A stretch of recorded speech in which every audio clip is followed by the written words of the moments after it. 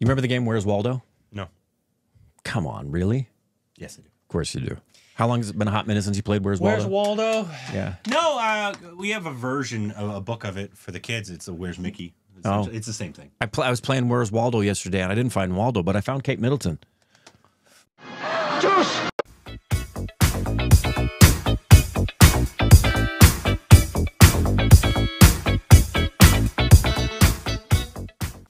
back to our Stupid Rex. I'm Korbin. I'm Rick. Follow us on Instagram, Twitter for more juicy content. Thank you to every person on Patreon. Follow us on official Twitter accounts. Subscribe and the like button. I've rearranged our room, and I actually have, for the first time, our million plaque, like, out. Yeah. it's there. And as always, the ever quiet but ever present Shah Rukh Khan. Yeah. It has some stains on it just because of sometimes I get horny looking at it. And so, Yeah. but yeah, it's understandable. It's true. Today we got a, a little interview. This is actually um, Shahid felt shortchanged in Padmaavat. Are you familiar with the whole Padmaavat controversy? I've heard a lot of things about that. I feel, I think from what I know, because from the first time we watched it, I heard kind of going scuttlebutt. You know, Yeah. Um, I think he thought he was going to be more of a centralized character. He was told by Sanjay, I think, that he was more of the centralized character. And And, he- then obviously the way the cut is, he's a, well, very much a supporting forget the cut. There's something that happens in the Hindi industry, and I think it happens in all industries. I could be wrong. Correct me if I'm wrong, but I do know it happens in the Hindi industry, which is just mind-boggling. Here is that people will agree to do a film before they read a script. Yeah, that is true.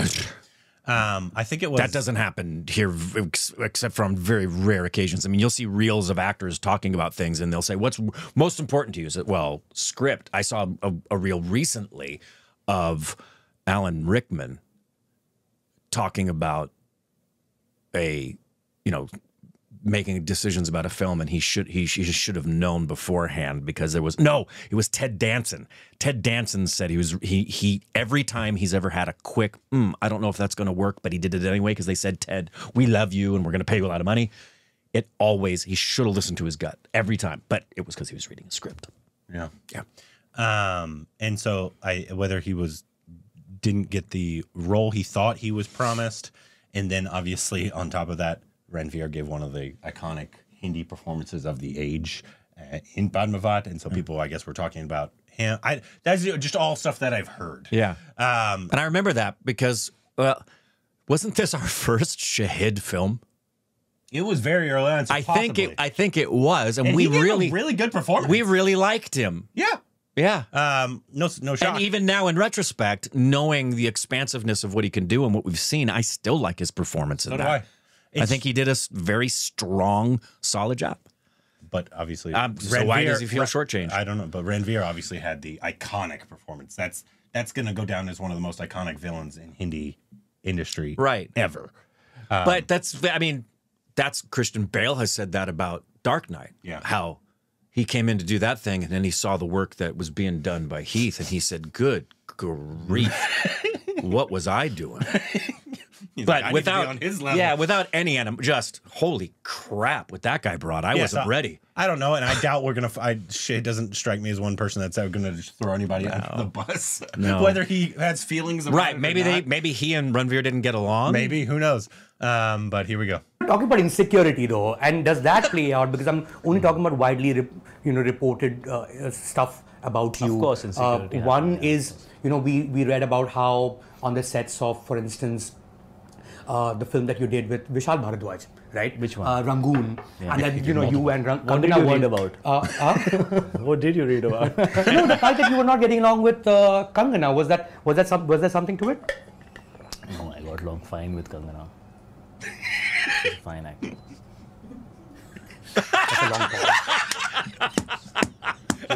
You're not asking anything else. You're waiting for No, but something. no, because- there isn't anything more to it. Right, right. because with insecurity comes a lot of these things, right? That you might feel insecure with. But with that's your co-star and stuff. interpretation that an actor is insecure, so there is a problem. But why do you think that is the No, only no. I'm just, I'm just telling you what I read. I know, I know, but I'm saying that there are so many things that can be there if, first of all, there is a problem. Yeah. The easier solution is to say those things. No, there could be so many factors. Right. But it's okay. People will write it. So let them write. Yeah. The other one that people, you know, people wrote about. When I say people, I mean newspapers like ours only. Is uh, when Like you were doing. Pad- Padmavat, for instance, and Yeah. there were there were like you know reports about how you were not very तू happy. ऐसा सब लिखता है मेरे बारे में मैं फिर भी आके खुशी से इंटरव्यू करता हूँ मैं कितना अच्छा इंसान हूँ तो कितना खराब इंसान है मैं मैंने तो पहली बात लिखा नहीं है अब वो जो लिखा मैं पढ़ूं भी नहीं वो तो नहीं हो सकता uh, is about uh, Padmavat the fact that you felt slightly um, you know, shortchanged in that film. Did that happen, Shahid? I did. Hmm, okay. I don't want to get into the details. Sure. I don't because I think everybody was fantastic in that film and everybody did a lovely job. But I did feel at times I was like, why did I make do this film? Like I felt like that, yes. Hmm. But I don't want to blame anybody. Sure. You know, maybe I didn't have perspective at that time. But at hmm. that point of time I did feel like that. Does that happen to you often when you're in the middle of a film and wondering, ah, eh, kahan phas gaya? Yeah, yeah, that, that Yeah. definitely happens. Hundred percent. what do you do then You you You're you professional. you're signed a professional. contract. Your job and You you're do the trying work. To, to the best capacity Yes. that you can. He signed a contract. Oh my Good, That's what stars. being a professional is all about. You know, you got to fulfill your duties and finish your job. Yeah. Paid for it. since we're talking about top seater V career what percentage of those films are there where you felt like you entered I'm like eh, no Early in my career, not Okay. so much later. And like there are also good days and bad days, right? Hmm. So that's okay. That's, uh, but early in my career, yeah, sometimes I didn't feel like I fitted in. Absolutely, you have to because you have to do things years, I would not say that you wouldn't do. Now nobody's the interested in you do. What are you those things about me. No, nobody's interested in those things about me now. Na? Hmm. Now you have other 24 year olds to focus on. you focus on them. Who are the 24 year olds or the early 20s that, that you think have a lot of promise in My Hindi films? brother Ishan. Yeah. Yeah, he has a lot of promise. Who? Others? A lot of them. I think a lot of kids are really good. Uh, I didn't hear what he said. Who is in that 24 category?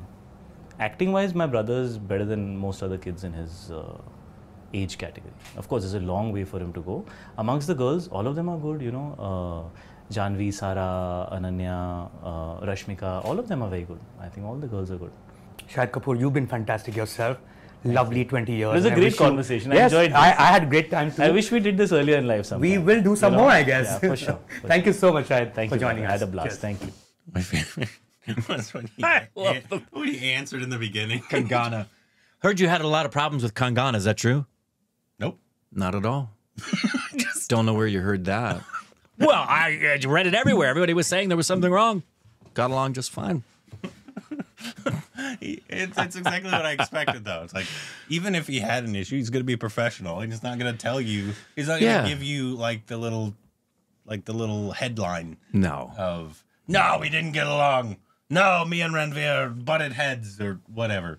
Um, and like as an actor, once again, you have to.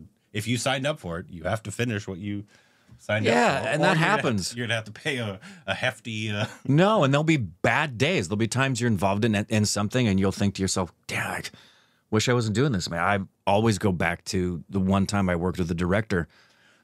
We we hit but we butt heads on a daily basis in rehearsal. I just and it wasn't just about disagreements on what he was doing as a director and my character and me trying desperately to submit to him because he's the director and I'm serving the text and serving his vision. But anytime I'd ask for something that would help me justify decisions as an actor, he didn't really give a damn. And made it clear he not only didn't give a damn about that, but he didn't seem to really clearly give a damn about me. Mm. And but I still came to rehearsals. I didn't talk crap about him when I was interviewed for the show. I didn't just now. no. Name Just- names, Rick. after after the fact you talk it's nobody nobody would know who it is. Um, Steven Spielberg. But but yeah. And I I'd like to know a little bit more and I think he would probably talk about it because it's an it's an educational experience for actors who may find themselves in a situation like that where they could learn from him about what was it specifically that was a challenge? Was it that once you got there, it was the work environment that you didn't expect? It was the script because you hadn't read that beforehand? Maybe it was the fact that, for example, there's some people who love the work of Daniel Day Lewis, but they don't like working with him. Be- because same like Brian Cox notoriously doesn't like didn't like working with uh doggone it the, the the full method actor on Succession plays Oh, one yeah. of his sons. Yeah, yeah, uh, yeah, uh, doggone it! I can't believe I'm forgetting his name. You guys know his name, but loves him as a person. Brian Cox is fine. Yeah, loves him as a person, but does not subscribe to what he does with his Just act. with his process. yeah, just hit your marks and don't bump the furniture. Stop it. Just act. So yeah, uh, I wish that was longer. I love Brian Cox. I do too. I he is a gem. Not only is he a talented actor, I don't think. I, maybe in his younger career, maybe I need to watch more of his young. I don't think he has much range when he's playing something. He's usually intimidating Brian Cox, uh, at least later in his career. Uh, I'd have to go back and check. The I've seen him do some things. I've seen him do some things where he's he's pretty much himself most of the time. I mean, I haven't. He has a huge body of work. What's funny is in Succession, there's some scenes where when he gets really, really, really angry, the Scottish comes out. Yeah. you can hear it in the voice a little bit, Um, a little bit. and there's nothing wrong with actors that play themselves. I mean, we have iconic actors that are some of the great. Michael Caine Yeah. is one of those that I think Michael Caine usually plays Michael Caine. so does Tom Hanks. Well, no, Tom can sh- shapeshift. Tom, for the For the most most part, he's Tom. He's Tom, but Yeah. he has done. He's a little more versatile than others. Yeah. Uh, but you usually, when I say that, I'm like, can you see this person um, in the in every performance they do? Mm-hmm. Tom, you usually can. Yeah. Um, another one that the studios are trying to shove down your throats right now that I think doesn't have as much range as maybe he would like to is Timothy Chalamet. We're about to find out. Um, We're about to find out. Do you know what his current project like is? That casting in the slightest. We're about to find out. his aura is the complete opposite of what Bob. I'm a big Bob Dylan fan, always have been. You liked Blanchett, didn't you? Who? Cate Blanchett being him. Oscar-worthy performance. yeah. yeah. I love that whole movie. By the way, I'm yeah. not there. But in case you didn't know, Timothy Chalamet is pr- presently, I think he's just doing photos and they're in pre-production, but he's going to be playing young Bob Dylan. I don't like it. in a biopic. Uh, but I his my issue with Timothy, I think he's a good actor. I do too. I love him. think, But my thing is, I one, I think the studios are trying to shove him down everybody's throat right now. And course. that's not good. He has way too much overexposure right now. I agree. I think he will never be as good of an actor as he wants to be. I think he wants to be a Daniel Day Lewis. I think he wants to be that. I don't think he has the talent for that. I don't know. I'm, I'm, ta- I'm talking about the shape shifting. Oh, range. you mean shape sh- shape shifting? That that wise. We're about to find out. I think because this could- is the first role he's done. everything he does. He's good, but I Yes. always see Timothy. But that that's my point. He hasn't He's never this disappeared. Is, this is the first time he's having to do something where he'll have to disappear. I, I don't think he But can. I, I don't think any of the roles he's done prior are the kinds of roles that would have allowed him to disappear. He was supposed to disappear in Wonka. well, Dune, I, and I enjoyed Dune. For I haven't seen Dune two yet. Um, neither you've asked, haven't seen it either. I've been waiting to see it with either of Alexis wants to see it with me. My buddy Rich wants to see it. I'm hoping to get to it this week. I've also been in rehearsals, so I've had a very busy schedule. But he didn't disappear. He was good. Uh, I've seen this thing he did with Steve Carell. He's- he's Little- so good Little in Women. that. He does a good job. Call me by my name. Yeah, it's always Timothy though. Agreed. So in terms of the people I think are the greats, or like at least now, I, I and even his contemporary, I don't think he's as good of an actor as uh, Austin Butler. Austin Oh, Butler please. can shapeshift. I think Austin Butler's a fantastic actor. Austin Butler's So and he's a contemporary of Timothy's. Yeah. But they're different. It's like saying who was a better actor as contemporaries, Robert De Niro or Jack Nicholson.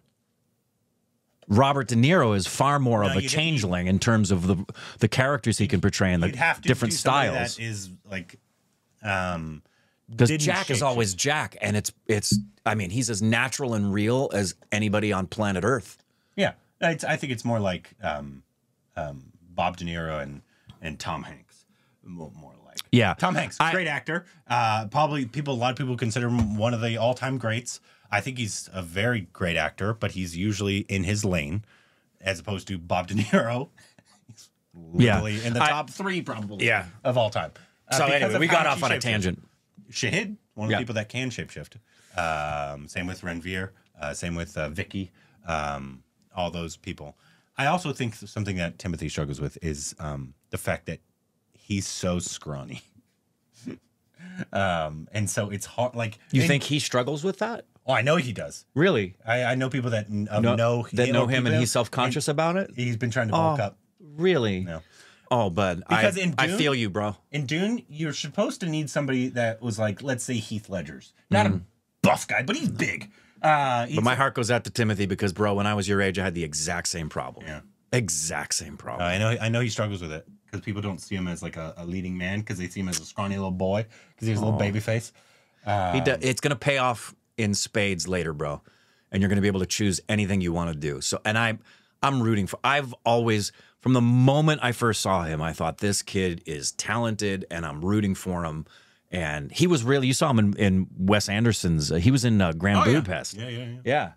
No, I I really, think I, really like him a lot. I think he's good. I just I, I think the studios need to stop stop shoving him down people's throats and giving him every single leading man role. I would love to see a breather between Dune 2 now and and let him fully absorb himself into Dylan and see see what he comes up with. I'm I'm I'm, a, I have I'm, zero hope for that movie. I'm rooting for him. Uh, anyways, let us know about this and any other information we need.